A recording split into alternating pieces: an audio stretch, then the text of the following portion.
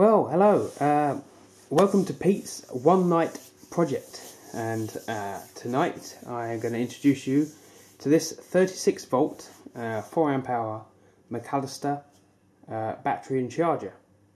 Now, I wouldn't have bought this if it hadn't been for the fact that it was reduced from £129 down to 34 and there was a second one down from I believe 100 to 31 pounds. And that was the 2.6 amp hour version of this battery and charger.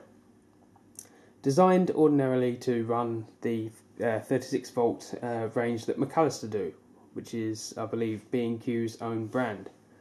Or better than that Be- B&Q does two brands Performance Power and Macallister. So this being the better brand with the uh, two-year guarantee. Now, I bought one of these, and I couldn't help myself, so I bought another. So inside, basically, you get a battery and a charger.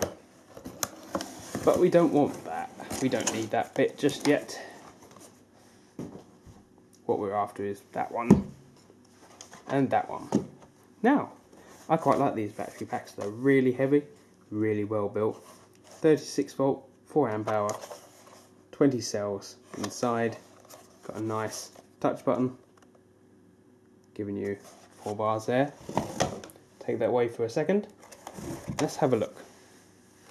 We show positive on one side, negative on the other. You can't see that. Let's zoom in.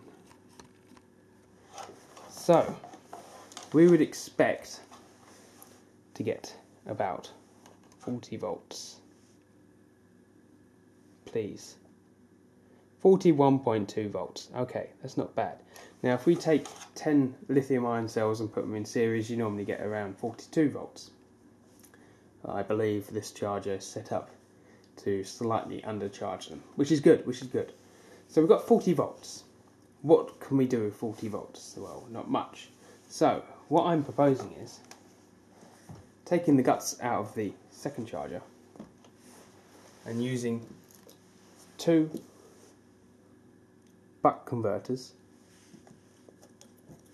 Sorry two buck converters one's already wired.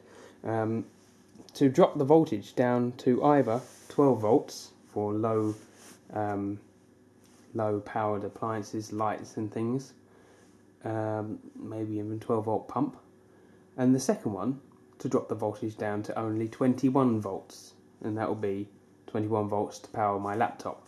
Now, there's going to be some problems in doing this, but I'll just show you the inside of the battery first because I was quite surprised. Now, I've already taken the screws out. They're security screws, but you can just use a simple small flat blade screwdriver which defeats the object. Having said that, I'm going to have trouble getting this open There we go. Two catches, don't need them. Um, I undid the sticky earlier, so it doesn't really make much difference. The whole lot comes out in one lump. Um, nice big heatsink on top.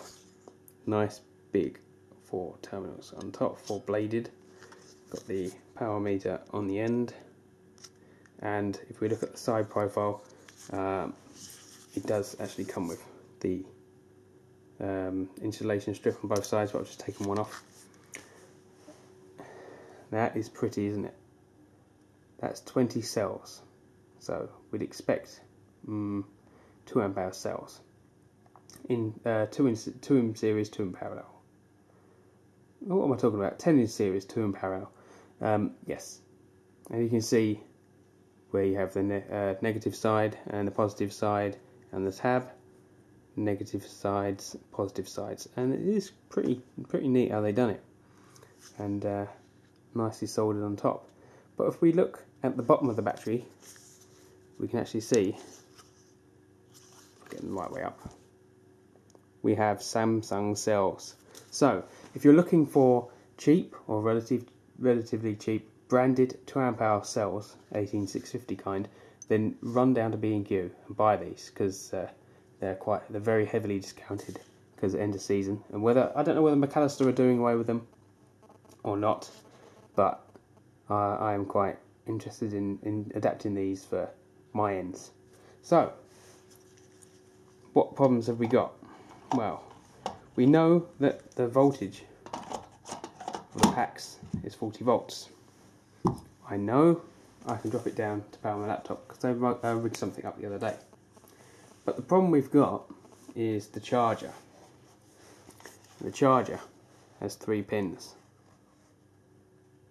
Negative, positive. It's missing the fourth blade. And the fourth blade on the battery is the one we need uh, for, what is it? Uh, negative. Giving us the negative. So, if I set the meter up,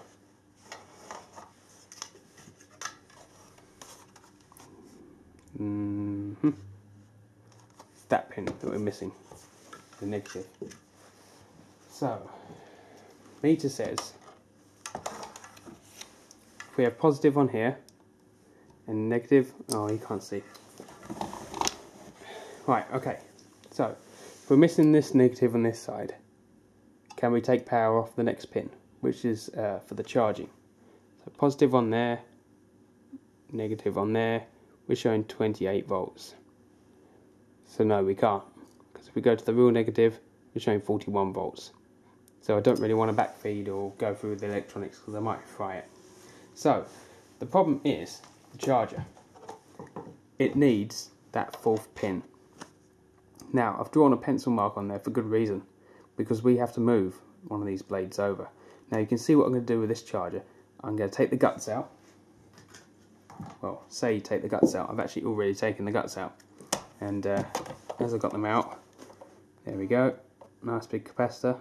Make sure you discharge that first, because it almost got me. Uh, and uh, lots and lots of uh, interesting bits, which I'm going to keep in case I fry the other one. So,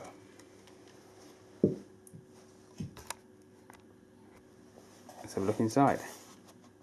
I know I am supplementing the light in here with a 10 watt LED and it's uh, creating horrible shadows so basically empty LED lamps on the top and the three bladed connectors. So we release that screw, there was two. I was quite surprised to see that it all falls out. And of course, yes, I did have to cut these connectors. It all comes out. And they're just clipped in. So my plan will be to move that negative over on the... Yeah, card went full. I had to delete everything off my card. Ah, where did I get to? Um, yeah, I need to take the negative uh, connector for charge off of there and move it over to the next slot. Which means we have to cut out the, the relative area on the top.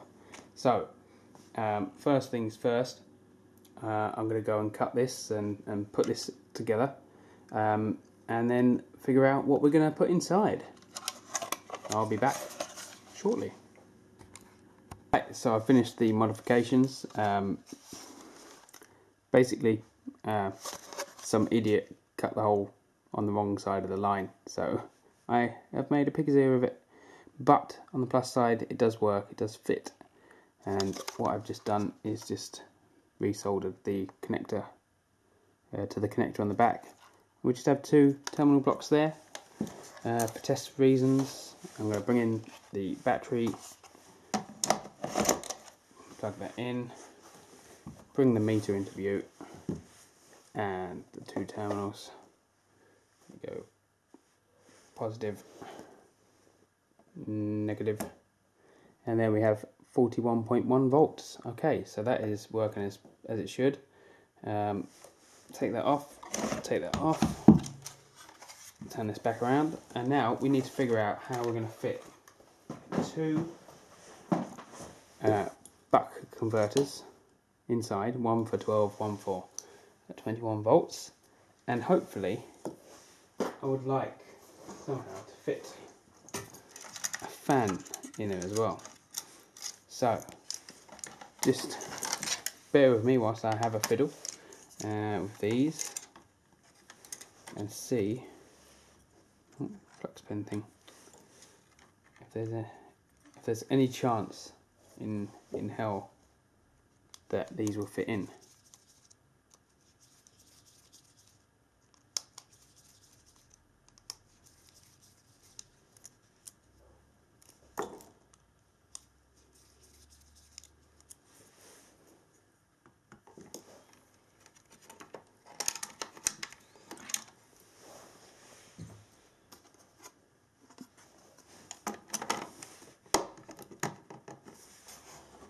Mm, won't fit that way.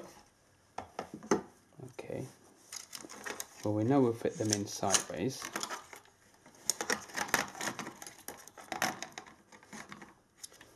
Or we fit a fan in the centre.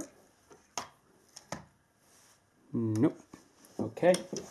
Now it's time for plan B. That should fit in. That came from a skip. I don't know if it works yet though. Uh, so so heat sink for some sort of CPU. So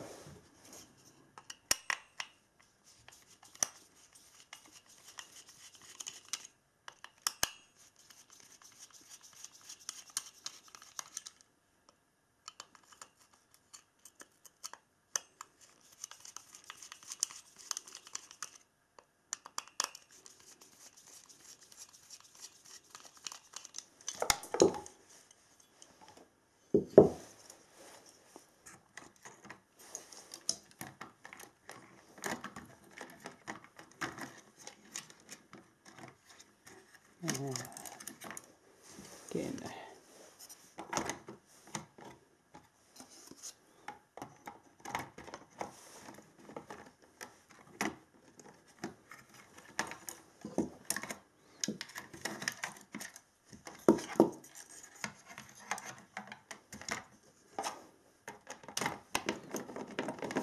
And that won't fit in there either. Okay.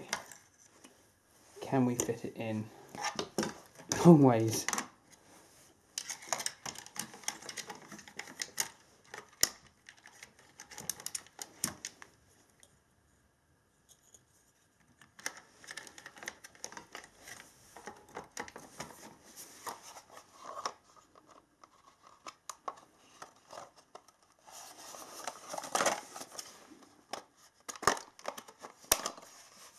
So we can fit it in that way, which is good because that way we can keep both. Oh, it's falling apart. That way you can keep both sets cool.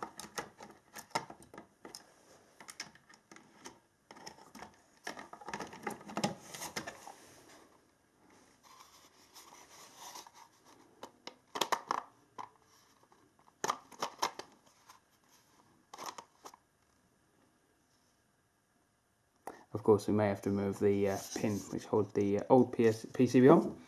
That shouldn't be too much of a problem. So now it's a case of um, starting to wire. Now, I'm not going to bore you with this. I'm going to connect, um, what I'm going to do is basically connect loads of leads onto them. I'm going to make them long, so I can cut them down and uh, put everything together. And then I'll show you the finished result.